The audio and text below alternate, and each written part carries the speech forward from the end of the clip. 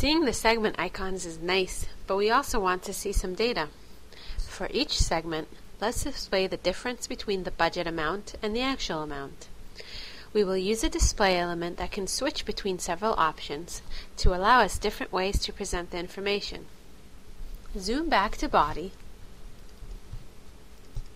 then into list, and finally content item. Delete content holder by selecting it, and then select remove element. Instead of content item, add display element. Right-click content item and select add element, dual display.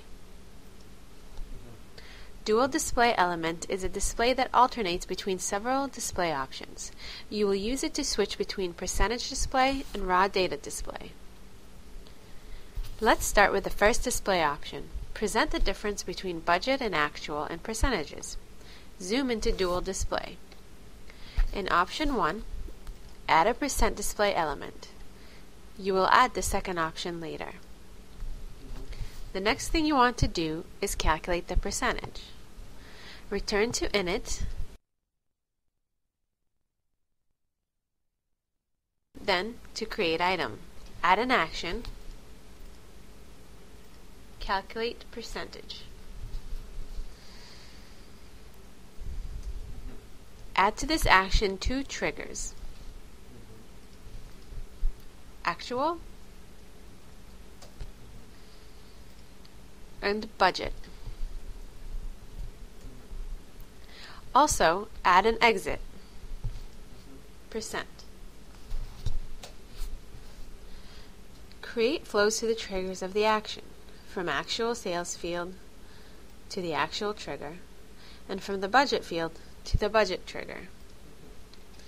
The calculated percentage should go to content item, dual display, option 1, percent display, and value. Create a flow from the exit of the action to the value subfield. Now for the calculation itself.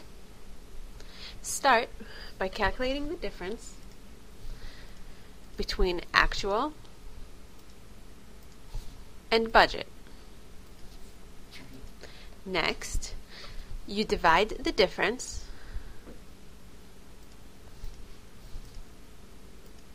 by the budget in order to get the percentage.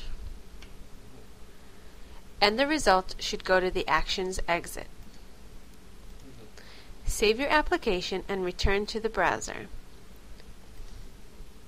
The application will automatically reload and display the calculated difference between budget and actual for each product segment.